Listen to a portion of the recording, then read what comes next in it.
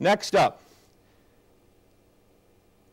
do they have a good setup for training? Meaning, do they have good information? And then are you going over with them?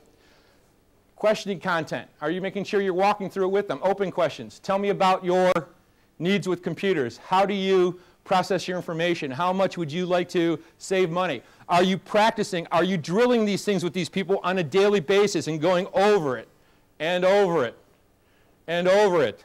And dare I say, over and over and over. So they're constantly getting better. If you're not, you're doing yourself and them a huge disservice. All right?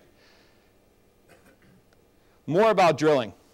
Now, I do this during the sales interview too sometimes, but sometimes I like to set up something kind of fun where I do, uh, you know, for an individual sales rep, where I ask non-product simulation questions in a timed rapid succession format. If I've done enough training with that person, I'll ask them a question such as, you know, you know for, for instance, i am looking for, you know, I'll ask them a question such as, tell me what this does, tell me what that does. But then I reverse it and say, ask me a question about the product that you're trying to find the feature, need, benefit, or value that our product provides as well.